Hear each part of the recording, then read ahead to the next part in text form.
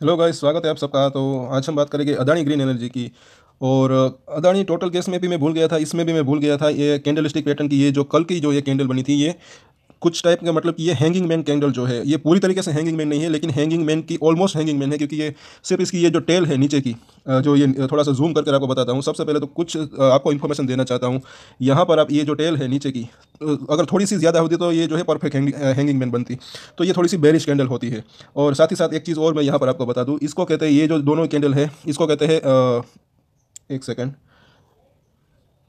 Bullish एंगल engulfing candle इसको कहते हैं। जैसे कि इसका ये जो ये कैंडल थी पहले की, जो बेरिस थी, उसको जो है पूरा पूरा जो है ये खा गई। इस तरीके से अगर आप आसान भाषा में अगर आप समझे तो। मतलब कि ये नीचे से लेकर ये जो उसके ऊपर तक अगर देखें तो पूरी की पूरी बेरिश है। इसको जो है पूरा अपने जो है अपनी बॉडी में समा लेती है। उसके बाद देखिए ये बुलिस कैंडल होती है और उसके बाद देखिए कितनी तेज़ी आई थी, दस के आसपास की, हज़ार रुपये को यहाँ पर टच किया था।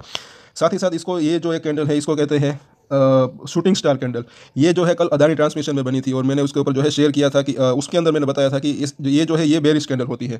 यहाँ पर अगर देखें तो ये 900 पे था और उसके बाद यहाँ तक आया था और यहाँ पर जो है 800 के आसपास जो है इसने एक लो बनाया था। सौ रुपये का जो है करेक्शन देखने को मिला था। यहाँ पर आप देख सकते हैं यहाँ पर मैंने टिक किया हुआ है। तो यहाँ पर अगर देखें तो ये जो है कल मैंने ये बताना भूल गया था कि ये थोड़ा सा बेरिशनेस का सिग्नल है लेकिन अभी ज़्यादा नहीं है क्योंकि जो इसके अंदर अभी देखें तो ये जो वॉल्यूम है, आज के दिन जो है इतना ज़्यादा वॉल्यूम देखने को नहीं मिला। लेकिन ये बेरिशनेस का सिग्नल जो है कल ही बता दिया था। तो ये बात आपको बताना भूल गया था और यहाँ पर अभी अगर देखें फ़िलहाल, ये सबसे पहले तो बोलिंजर बैंक यहाँ पर लगाया हुआ है। तो अभी इसका प्राइस अगर देखें तो नौ नौ है।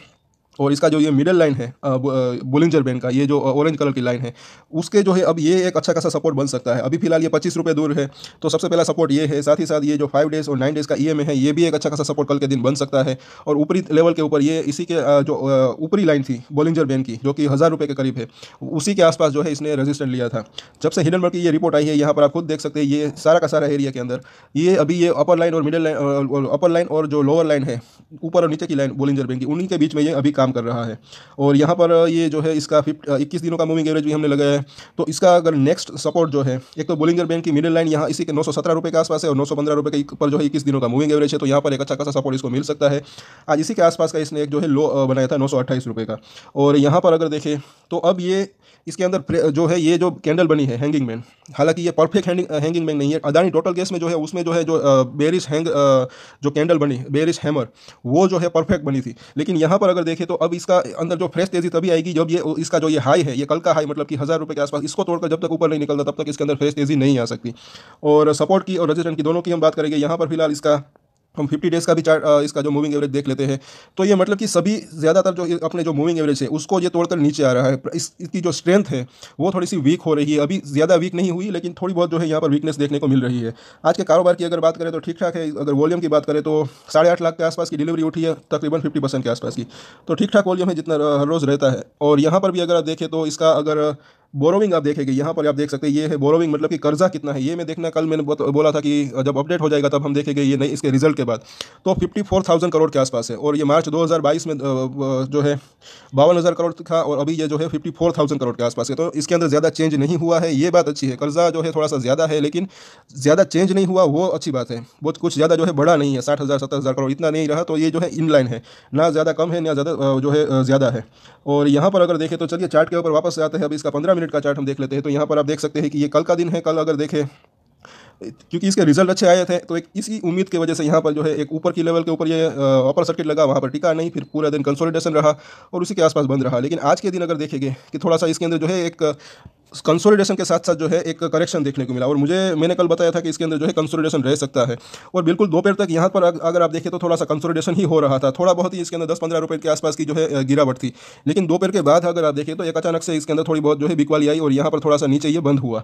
और यहाँ पर अगर देखें तो ये इसका वीकली चार्ट है। और सबसे बड़ा इसका रजिस्टेंट अगर देखें तो ये है, जो कि दो सौ वीक का मूविंग एवरेज है। इसी के आसपास जो है, जब से हिडनबर्ग की रिपोर्ट आई है इसके ऊपर ये निकला नहीं है। तो सबसे पहले तो थाउज़ेंड रुपीज़ का लेवल को जो है इसको पार करना ज़रूरी है। उसके बाद ये एक हज़ार और पचास का लेवल, तब जो है इसके अंदर एक ज़्यादा तेज़ी आ सकती है। लेकिन जब तक ये इसके नीचे काम कर रहा है, तब तक जो है इसके अंदर एक कंसोलिडेशन का थोड़ा बहुत माहौल रह सकता है। और अभी फ़िलहाल देखें तो थोड़ी सी प्राइस की जो स्ट्रेंथ है, वो थोड़ी सी कम होती हुई दिख रही है, लेकिन अभी सपोर्ट जो है, वो नज़दीक है। एक तो इसका जो फाइव वीक और नाइन वीक का जो मूविंग एवरेज है, वो भी काफ़ी नज़दीक है, नौ सौ तेईस और नौ सौ तो यहाँ पर भी जो है अच्छा खासा सपोर्ट मिल सकता है। साथ ही साथ ये इसका मंथली चार्ट है तो इसका जो फिफ्टी मंथ का जो मूविंग एवरेज है, वो भी साढ़े नौ सौ रुपये है।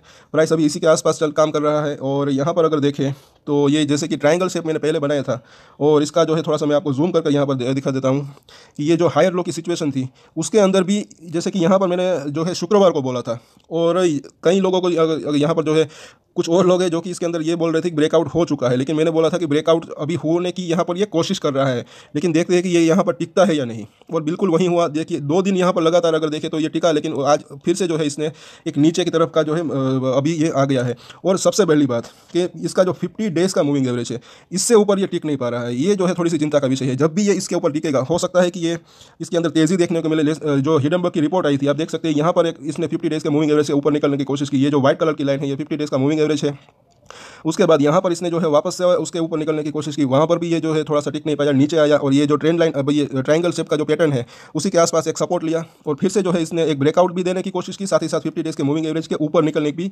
निकलने की कोशिश की। तो अब सबसे बड़ा जो है सवाल यही है और सबसे बड़ी नज़र इसी के ऊपर जो है कि सबसे पहले तो ये फिफ्टी डेज़ के मूविंग एवरेज से ऊपर निकले और वो भी अच्छे खासे वॉल्यूम के साथ। तब जो है ये ज़्यादा पॉसिबिलिटी रहती रहेगी कि ये हज़ार रुपये, एक हज़ार पचास रुपये वहाँ तक जाए और उसको भी क्रॉस कर ऊपर निकले। लेकिन जब तक ये फिफ्टी डेज़ के मूविंग एवरेज को क्रॉस नहीं करता। सबसे पहली बात तो तब तक जो है इसके अंदर प्राइस के अंदर स्ट्रेंथ देखने को नहीं मिल सकती। और ये एक इनलाइन ही रहेगा, मुझे ऐसा लग रहा है, तब तक मतलब मतलब कि। और यहाँ पर अगर देखें तो अब इसके सपोर्ट और रजिस्टर हम देख लेते हैं। सबसे पहले तो नौ सौ बयासी रुपये का प्राइस है। सपोर्ट की अगर बात करें तो सबसे पहला सपोर्ट अगर देखें तो नौ सौ तीस रुपये उसके बाद देखें तो नौ सौ पंद्रह रुपये के आसपास क्योंकि वहाँ पर एक बुलिंचर बैग की जो है मिडिल लाइन खड़ी है और ये एक से दो दिन की बात है और इसके बाद देखें तो नौ सौ रुपये का जो लेवल है उसी के आसपास एक अच्छा खासा तगड़ा सपोर्ट मिल सकता है। ऊपर की तरफ़ अगर बात करें तो सबसे पहले तो यही इसका रजिस्टेंट है नौ सौ जो पचास दिनों का मूविंग एवरेज है मतलब कि नौ सौ पचपन रुपये उसके बाद अगर देखें तो नौ सौ अस्सी का लेवल और जो फाइनल इसका जो अभी रजिस्टेंट यहाँ पर दिख रहा है वो हज़ार रुपये का दिख रहा है क्योंकि कल इसी के आसपास जो है इसने एक हाई बनाया था। और कल के दिन की अगर बात करेंगे तो इसके अंदर सबसे पहले तो मुझे ऐसा लग रहा है कि थोड़ा बहुत सवेरे जो है एक गिरावट देखने को थोड़ी बहुत मिल सकती है 925 930 के आसपास की। और उसके बाद हो सकता है वहाँ पर एक थोड़ा सा एक ये, एक संभलने की कोशिश करें। और अगर ऊपर की तरफ़, जैसे कि ये फिफ्टी डेज़ के जो मूविंग एवरेज है, उसके ऊपर नज़र रहेगी, अगर कुछ पॉजिटिव सरप्राइज़ आता है, इसके ऊपर निकलता है, तब जो है एक ज़्यादा पॉसिबिलिटी रहेगी कि इसके अंदर प्राइस के अंदर जो है स्ट्रेंथ जो है वो देखने को मिल रही है। लेकिन जब तक इसके नीचे काम कर रहा है, इसी के ऊपर जो है ज़्यादा नज़र रहेगी। तो क्योंकि ये आप खुद देख सकते हैं कि कई बार इसने इसके ऊपर चढ़ने की कोशिश की, लेकिन वहाँ पर एक दो दिन तो टिकता है, लेकिन बाद में वापस से नीचे लुढ़क देता है। अभी फ़िलहाल ज़्यादा नीचे नहीं आया है तो एक, अभी भी अगर देखें तो आप होप मानकर चल सकते हैं कि इसके ऊपर ये निकले।